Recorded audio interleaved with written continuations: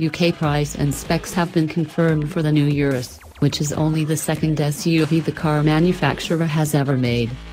The Lamborghini Urus is a visionary approach based on the infusion of Lamborghini DNA into the most versatile vehicle, the SUV, says Stefano Domenicali, Automobili Lamborghini chairman and chief executive officer.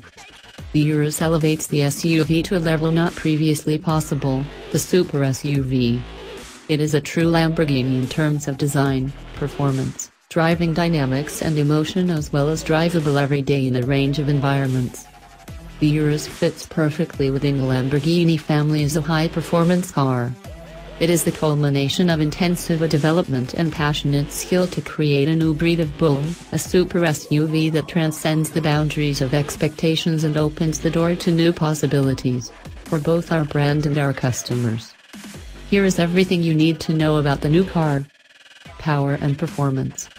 Powering the Urus is a 4.0-liter V8 twin-turbo engine which delivers 650 bhp and 850 newton-meters of torque. This allows it to go from 0 to 62 miles per hour in 3.6 seconds and 0 to 124 miles per hour in 12.8 seconds and open to a top speed of 189 miles per hour. While the Urus will be beaten in from 0 to 60 miles per hour by the Model X it trumps it, and any other SUV, with its top speed.